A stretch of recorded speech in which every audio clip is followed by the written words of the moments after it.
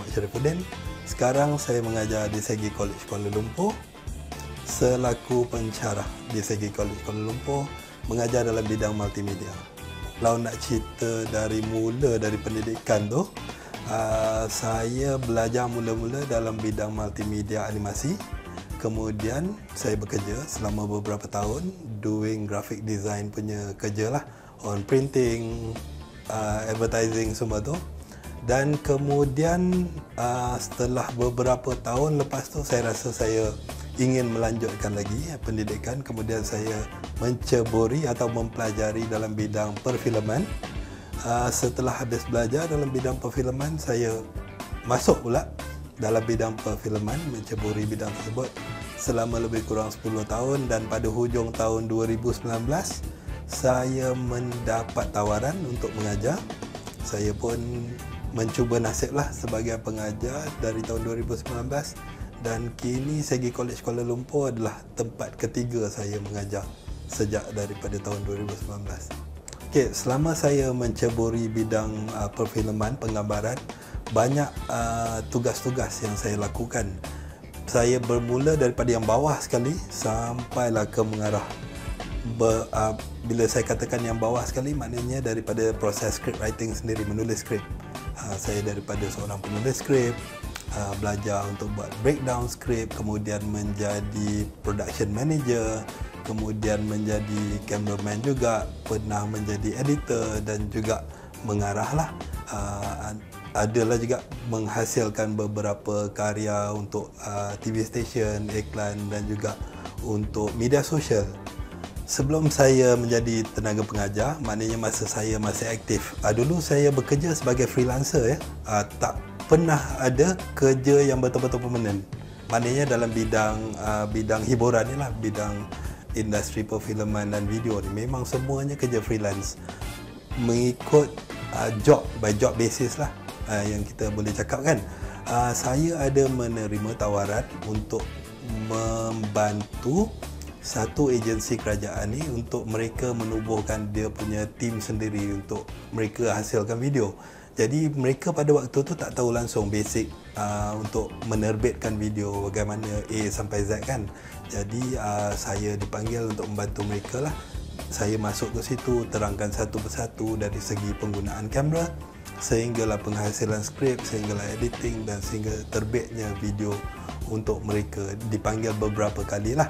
Jadi mungkin dekat situ saya yang sebelum ni tak pernah mengajar rasa adalah uh, mungkin ada ciri-ciri guru atau pengajar tu. Jadi apabila menerima tawaran pada tahun 2019, saya kata why not lah kita dah pernah, dah pernah buat dan mungkin bidang ni bidang untuk saya lah selepas ni. Saya masih mencuba dan pada masa yang sama juga tidak menolak job-job yang saya terima uh, sebagai freelancer. Cuma tak mengambil lah job-job yang heavy mana memerlukan saya bekerja dalam jangka waktu yang panjang kan sebab dia mengganggu di mana saya punya kerja hakiki sekarang ni.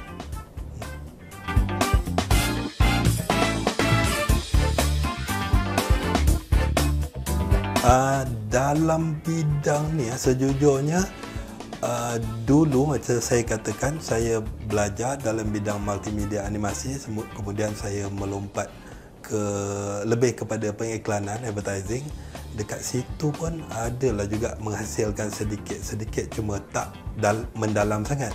Sehinggalah saya sambung balik belajar masuk belajar dan habis belajar pada tahun 2010 ah, ketika tu baru saya mula aktif lah maknanya rasanya pada tahun akhir tu sendiri dah dah memang aktif dah masa saya sedang menuntut lagi saya pernah ke Thailand untuk melakukan penggambaran di Thailand di sana uh, di mana dipanggil oleh kerajaan Thailand sendiri dan mereka memberikan uh, sedikit pembiayaan untuk melakukan uh, penggambaran di sana.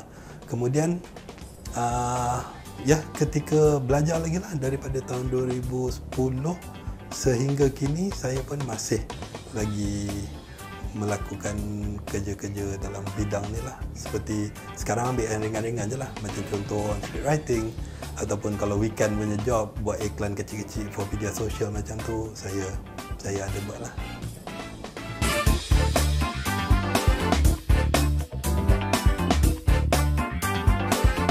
Hmm. Secara jujurnya, selepas SPM dulu saya tak tahu nak buat apa. Memang memang tak tahu. Kecil-kecil tu uh, nakal sikit lah. Uh, rebel semua kan. So benda yang saya mahir saya tak ambil dalam SPM contohnya saya memang mahir dalam melukis semua tu. Tapi SPM saya tak, saya tak ambil. Agak rebel kan. Tapi lepas tu menyesal lah kenapa tak ambil. Tapi nasib baik ada college-college swasta yang boleh menerima. Uh, maknanya dia dekat situ dia try your drawing skills semua kan? Uh, untuk untuk untuk kita masuk. Ibu bapa saya memang menyokong memang tak berkira. Katakan saya nak macam alat tulis uh, bahan-bahan lukisan uh, mereka akan berikan dan dan support. Uh, selain daripada tu abang saya juga di dalam bidang ni tapi dia lebih ke arah muzik. Abang saya dia seorang penari dan sekarang ni dia juga seorang artis. Artis veteran lah.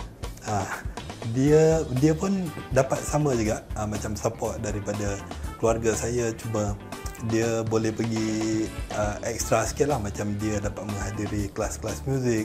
Macam saya tak adalah masuk kelas-kelas untuk lukisan tu. Cuma belajar-belajar sendiri kan.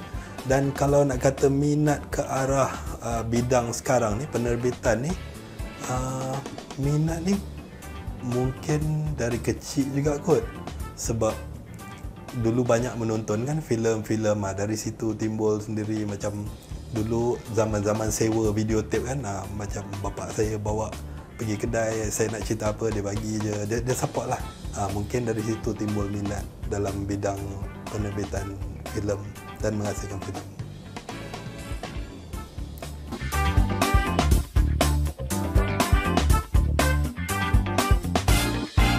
macam selalu yang saya cakap dekat uh, pelajar-pelajar saya uh, software ni semua bergantung kepada kita punya uh, capability machine. Apa yang kita ada alat apa yang kita ada. Kalau kita tak ada sebuah komputer atau kita tak ada sebuah komputer riba zaman sekarang ni dengan phone pun kita boleh pakai. Jadi software apa yang use laser pakai kat phone kalau use laser guna CapCut dia pakai CapCut. Uh, bagi saya sendiri saya waktu belajar dulu ada menggunakan software contoh untuk editing. Saya belajar pada zaman dahulu lah kita pakai Avid Media Composer. Saya uh, saya selesa dengan uh, perisian tersebut. Tapi apabila kita mula belajar-belajar yang lain macam sekarang yang saya gunakan Final Cut Pro. Final Cut Pro untuk Apple. Jadi kebanyakan di institusi institusi-institusi mereka banyak menggunakan Adobe punya software. Itu pun tak ada masalah. Macam contoh untuk editing Adobe Premiere Pro uh, untuk menghasilkan image manipulasi pakai Photoshop. Itu semua uh, benda-benda asas yang uh, pihak institusi sendiri ada sediakan. Tapi bagi saya saya beri kebebasan untuk student apabila diorang nak kena hasilkan diorang punya assignment ke atau diorang punya kerja ikut keselesaan masing-masing dan kemampuan masing-masing.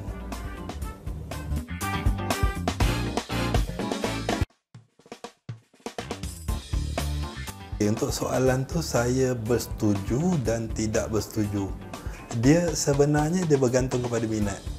Uh, macam zaman dulu lah educator semua banyak menggunakan PowerPoint tapi sekarang kita ada ada option lain. Kita boleh pakaikan Canva semua kan untuk membuatkan uh, kita punya presentation slide untuk kita punya student tu lagi menarik. Sama juga untuk uh, aplikasi-aplikasi yang kita boleh gunakan ni. Macam uh, you tak perlu gunakan aplikasi yang terlalu advance canggih.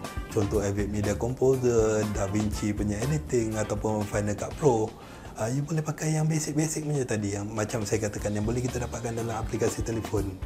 Rasa kebanyakan orang-orang sekarang ataupun remaja-remaja sekarang mahir untuk menghasilkan video-video daripada aplikasi yang dapat daripada mobile yang free-free application.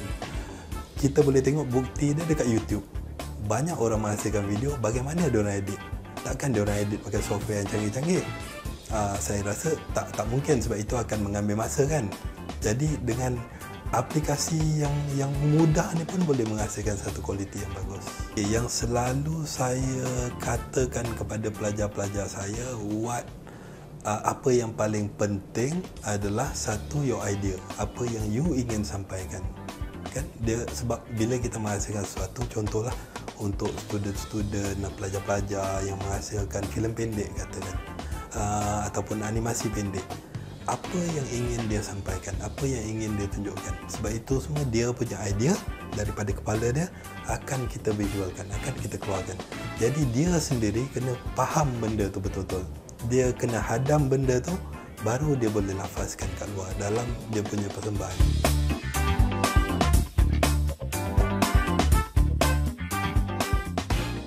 Uh, Okey, itu adalah satu soalan yang bagus. Macam yang saya selalu tekankan kepada pelajar-pelajar saya, sebelum mereka menghasilkan satu video ke ataupun satu animasi, yang penting sekali adalah idea ataupun apa yang mereka ingin sampaikan. Sebab semua ni adalah karya mereka dan mereka perlu hadam dulu dia punya story, dia punya intipati cerita tu semua mereka perlu hadam dan kemudian barulah boleh ditunjukkan dalam visual. Okay, apabila mereka dah hadam dia punya story, first of course ialah beberapa proses lah. Contoh, you kena tahu you punya logline, daripada logline you punya synopsis, synopsis you punya your story, logline, storyline, synopsis, kemudian your treatment, baru you boleh buat the rest, the script dan sebagainya. Jadi selalu saya tekankan juga script writing ni, uh, penghasilan script ni bukan satu script tu dah terbaik. So writing process is about rewriting you dah okey dengan you punya cerita mungkin you boleh kongsikan cerita you pada orang lain. Minta pendapat mereka. Daripada pendapat-pendapat ni lah baru kita boleh buat pembaikan ke. Sebab uh, kalau menghasilkan video ataupun animasi ni kita anggap uh, yang penonton ni semua nanti daripada berlainan latar belakang. Jadi mereka mungkin ada banyak soalan. Jadi soalan-soalan ni kalau dapat terjawab daripada skrip lebih bagus daripada apabila hasil tu nanti ditayangkan. Okey, jadi proses ni saya selalu tekankan kepada penghasilan skrip juga. Jangan anggap yang skrip yang anda ataupun student tu, pelajar tu telah hasilkan yang pertama tu adalah yang terbaik.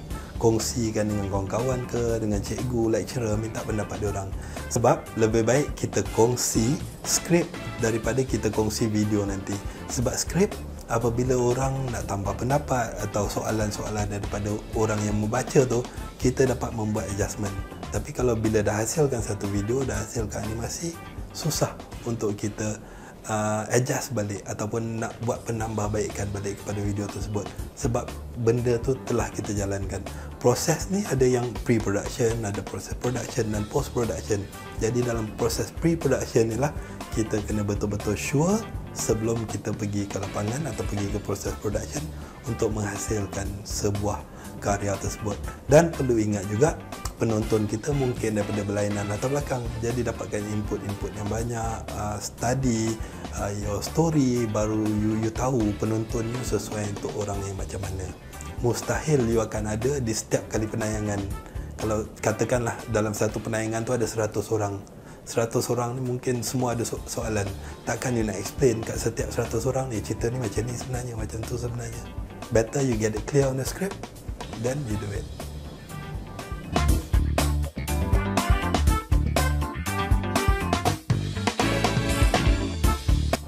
Dalam proses ni bagi saya yang paling rumit dan mencabar ialah research.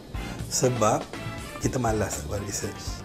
Itu yang paling mencabar lah kepada diri sendiri ataupun diri pembikin filem tu.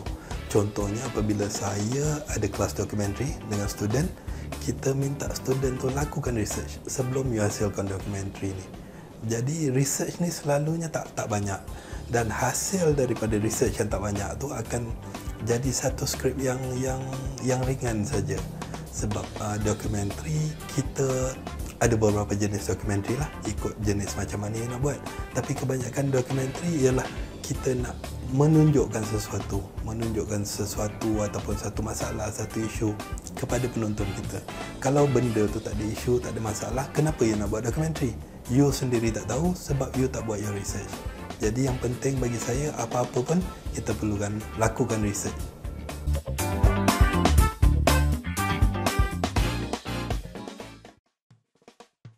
bagi saya lah yang saya nampak kebanyakan mungkin mungkin sebab lain orang dia ada lain cara untuk menghasilkan uh, sesebuah video tu. Mungkin saya punya pun uh, tak menepati dengan cita rasa sebab orang lain orang lain-lain cita rasa kan. Uh, bagi saya kita cuba lakukan video-video tersebut menjadi lebih menarik lah banyak contoh kita boleh tengok kat YouTube. Video-video yang mereka hasilkan menarik. Menarik sebab uh, video-video ni yang saya nampak yang saya perhatikan dia bukan sahaja orang bercakap di hadapan kamera. Di mana kita letak seorang dan bercakap di hadapan kamera itu saja.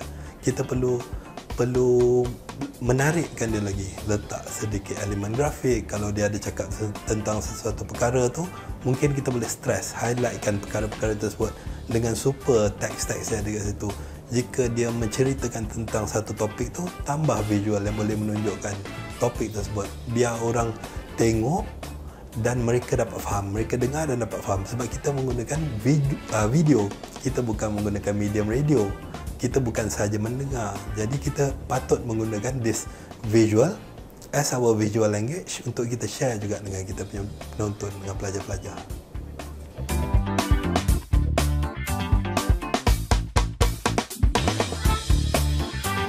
About video pendidikan, dia target audience tu siapa? Sebab biasanya video pendidikan we have our specific target audience. Katakan target audience tu budak-budak tadika katakan uh, dia perlukan visual yang colourful kalau yang yang adult learners dia dia lain style video pendidikan ni jadi kita satu kita kena tahu kita punya target audience sebelum kita hasilkan video pendidikan tersebut lepas tu uh, video pendidikan ni macam saya cakap tadi dia dia punya style dia kena lively engage dia walaupun tak interaktif you try to make it interactive with your audience dengan penonton tu. Biar dia tengok dan dia ingin tahu. Kita timbulkan rasa ingin tahu kepada dia. Hmm.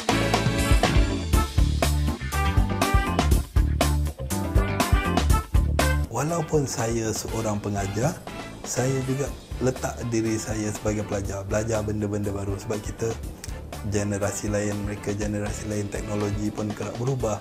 Macam dulu pakai kamera besar sekarang even on the phone you can shoot amazing video kan? Kita boleh dapatkan hasil yang bagus. Jadi saya pun cuba untuk bersama dengan mereka belajar benda-benda baru. Jadi uh, yang saya kata saya boleh banggakan ialah pencapaian lah uh, apabila bersama dengan pelajar-pelajar ni dia bukan uh, bukan saja outcome apa yang dihasilkan tapi proses tu. Proses daripada mereka tak tahu apa-apa sampai sekarang mereka reti sedikit demi sedikit. Uh, dan saya pun akan belajar benda-benda yang baru setiap hari. Macam zaman saya belajar dulu pun saya masuk belajar kalau katakan dalam bidang perfilman agak lambat. Masa umur saya dah 30-an macam tu baru saya start belajar tapi uh, sebab saya dah ada background sikit dengan advertising dia jadi lebih mudah kepada saya untuk untuk adapt benda tu. Sebab tu saya kata walaupun saya belajar pada masa tu dalam uh, final year macam tu saya dah dapat dah dapat uh, job-job ataupun dah dah dah bekerja luar freelance punya job kan sebab ada pengalaman yang saya dapat. Even masa uh, time saya belajar pun saya aktif untuk masuk pertandingan dan um, adalah hasil-hasil dia yang itu yang saya ingin sharekan kepada pelajar-pelajar saya sekarang. Try to expose yourself masuk pertandingan. Tak kalah ke menang ke tak ada masalah. Kita cuba kita cuba kita cuba.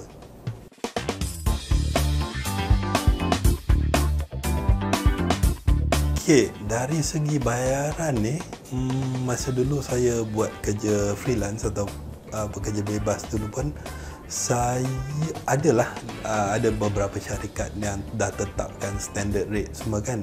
Tapi bagi saya sendiri uh, kebanyakan dia yang minta lah bergantung kepada bajet yang diorang ada. Uh, berapa katakan dia kata dia ada bajet sebegini rupa. Jadi dengan bajet sedemikian kita akan menggunakan uh, tenaga kerja mengikut bajet dia. Menggunakan peralatan mengikut bajet dia.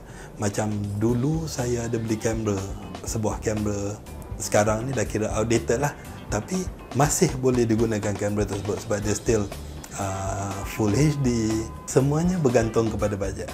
Uh, lepas tu daripada bajet tu baru kita work out benda-benda lain lah. Uh, ada separuh uh, orang ataupun boleh kita katakan klien lah. Bajet dia tak logik memang langsung tak logik lah untuk kita buat. Hmm, dia dia berbeza daripada satu dengan satu. Uh, sebab bajet ni kita boleh ubah dengan tenaga pekerja dan juga equipment apa yang kita pakai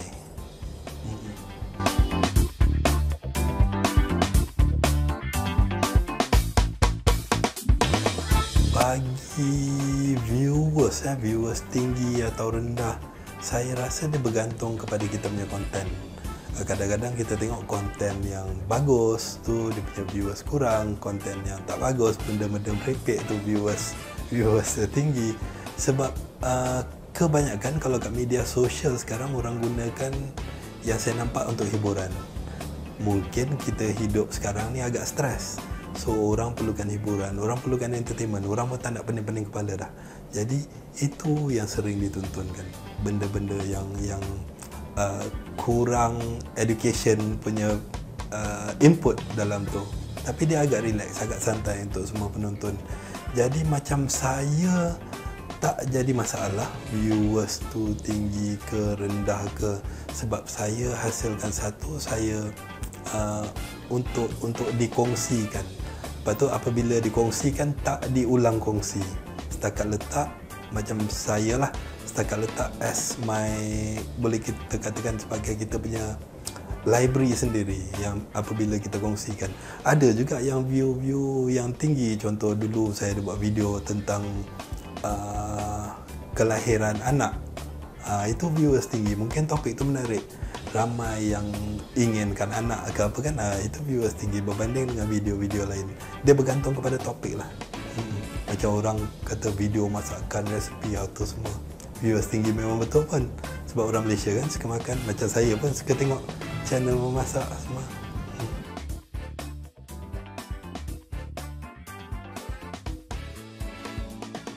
Dekat sini saya punya pendapat dia bercampur aduk lah.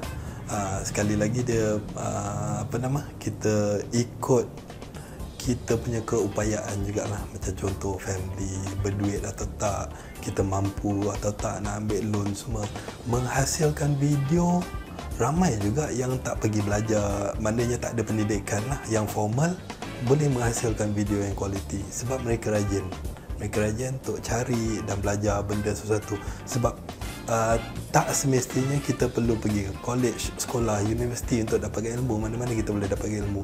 Sekarang dengan ada platform media sosial contohnya YouTube, banyak benda yang kita boleh belajar daripada situ. So, tak jadi masalah untuk saya walaupun tak ada pendidikan yang formal asalkan yang penting ialah konten tu. Uh, janganlah buat konten-konten yang merepek, konten-konten yang boleh menyinggung menyinggung masyarakat kan. Buat buat konten yang bijak yang boleh dikongsikan. Sebab dengan konten tu sendiri orang boleh tengok you punya kepribadian. Macam mana or you sendiri. Sebab ni semua adalah your idea apa yang you nak share ke orang. Tak naklah idea-idea you yang merepek tu nanti orang akan pandang diri you pula. Di efek kepada you dan orang-orang di belakang you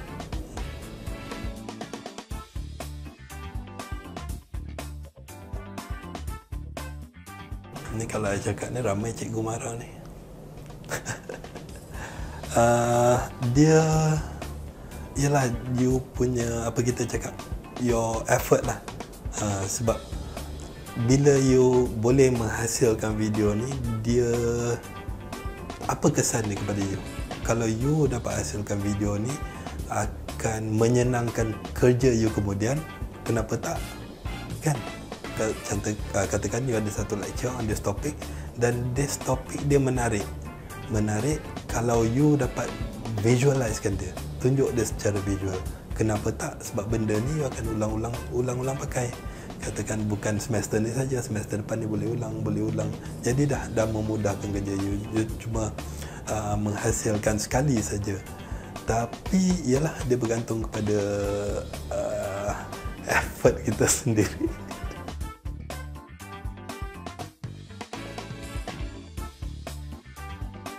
kaedah terbaik eh, yang saya rasa pihak institusi itu sendirilah kena berikan uh, latihan yang proper kepada guru-guru ni. Sebab kadang-kadang bukan dia orang tak nak buat dia tak reti buat. Jadi untuk effort untuk mereka belajar sendiri tu mungkin ialah dengan tugasan hakiki benda-benda lain lagi nak buat. Jadi kalau institusi ini sendiri dapat preparekan satu bajet panggil tenaga pengajar datang dan mengajar mereka di institusi ke ataupun hantar tenaga-tenaga pengajar ni ke tempat lain untuk menghadiri suatu latihan ke kursus lebih mudah untuk mereka uh, belajar dan mereka mungkin kat situ adalah pertanyaan-pertanyaan yang boleh dijawab oleh pakar-pakar dalam bidang ni. Kepada uh, tenaga-tenaga pengajar ni sebab ialah tak guna kita paksa kalau dia tak reti tak reti juga uh, baik kita berikan latihan yang sesuai untuk mereka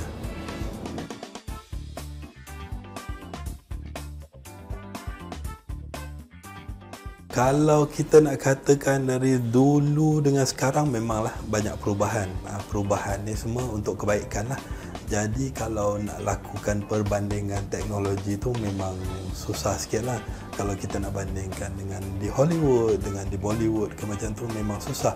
Sebab satu kita kena tengok kita punya audience, penonton kita berapa ramai. Jumlah penduduk kita berapa ramai.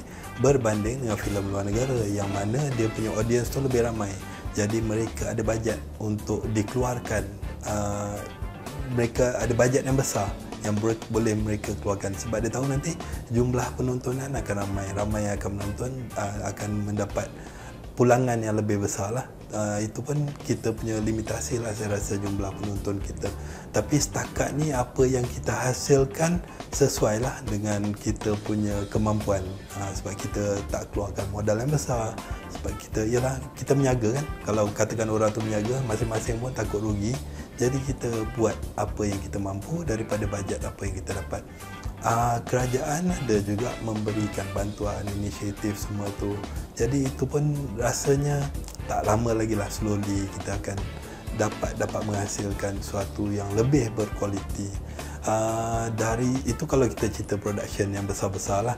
Tapi kalau kita tengok yang kecil-kecil macam small scale dekat dalam media sosial ke YouTube macam tu kita tengok uh, orang-orang muda ada yang pakar dalam bidang-bidang ni uh, mungkin nanti satu hari nanti mereka boleh menghasilkan satu yang besar untuk screen yang lebih besar. Kita boleh tengok lah kualiti dia macam mana sebab ada tu. Cuma ialah production besar bajet besar penonton kurang memang memang susah lah hmm.